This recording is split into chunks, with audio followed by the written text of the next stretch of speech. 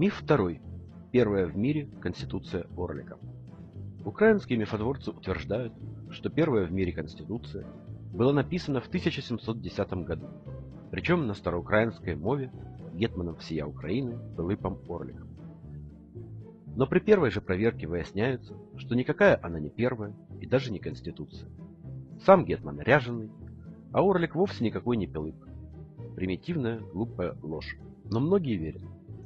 Те же украинские президенты со свойственным им невежеством заявляют, что наша Конституция на 90 лет старше Конституции Польши и на 70 Конституции Америки, до слова Ющенко, и что современная Конституция опирается в том числе и на Конституцию Орлика. Это уже Янукович. Кстати, последнее утверждение может объяснить, почему сегодня реальная власть в руках группы олигархов.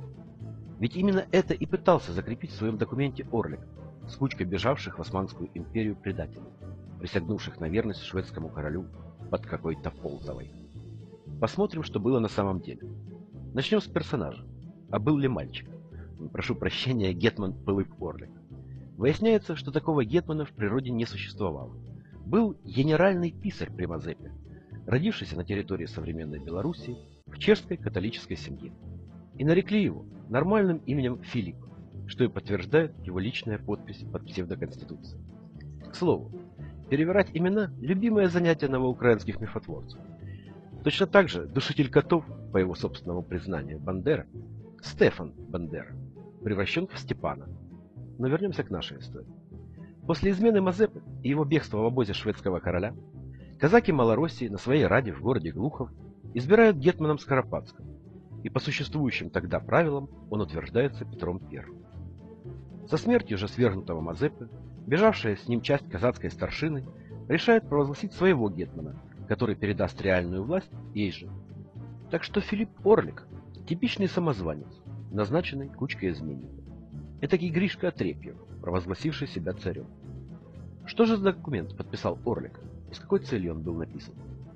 Оригиналы этого документа существуют на двух языках – русском и латыни, потому что утвердивший его Карл XII русского не знал. Сведомые украведы утверждают, что документ написан на староукраинском языке. Ну, во-первых, такого языка просто не существовало.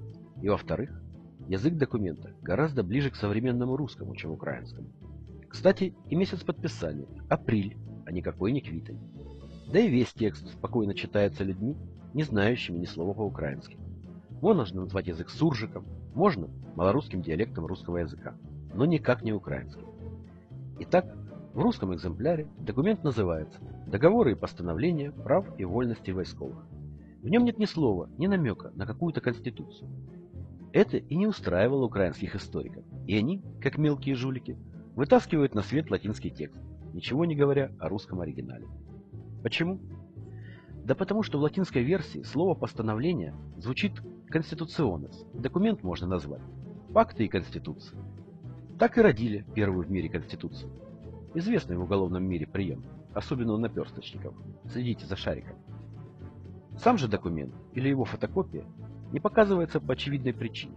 Мало того, что не Конституция это вовсе, и написано не на мове, так еще и украинцев в нем нет никаких. Нет никакого украинского народа, равно как и самой Украины нет тоже. Везде только народ малороссийский, Малая Русь, Малороссия. Смысл подписанного договора заключался в обеспечении прав и вольностей казацкой старшины, и Орлик, подписывая его, присягал, что безоговорочно будет их выполнять.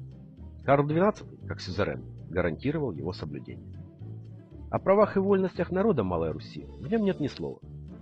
Договор ограничивал власть лжекетмана в пользу генеральных старшин магнатов. То есть уже тогда пытались закрепить принцип олигархического правления. О народе вспоминают только в смысле собирания с него налогов и запрета злоупотреблений нижестоящих чиновников по захвату земель, притеснениям, поборам, взяткам, незаконным конфискациям.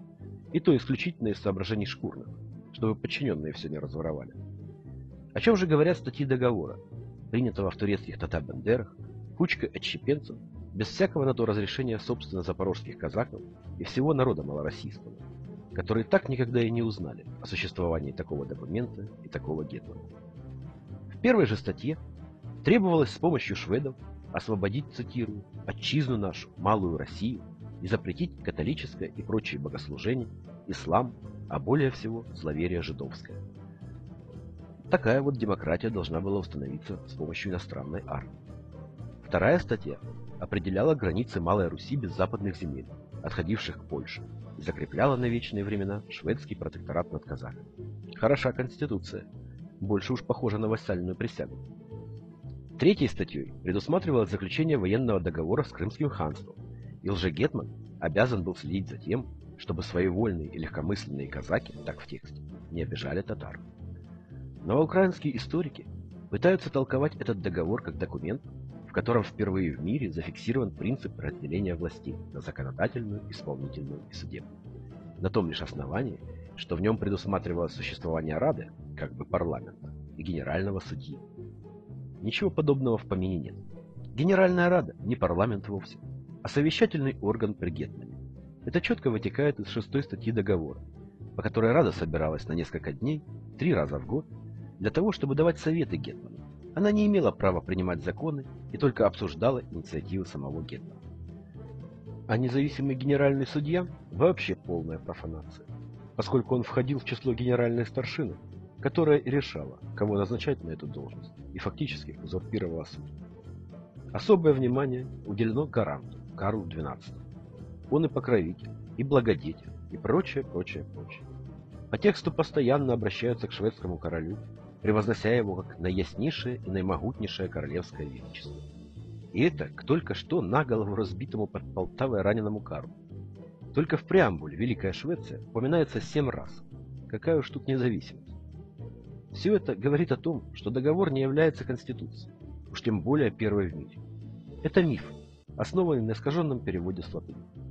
Изгнанные из территории Малороссии предатели заботились только о своей власти, а современные мистификаторы делают из них державотворцев. Точно так же, как из Грушевского, путаясь в датах, пытаются сделать создателя несуществовавшей Конституции Украинской Народной Республики, не замечая даже немцев, оккупировавших тогда Киев. Первый же, реально действующей, стала Конституция Украинской ССР, принятая в 1919 году делегатами съезда, которые реально выбирались тогда в деревнях и на заводах гражданами Украины, а не беглецами за границей.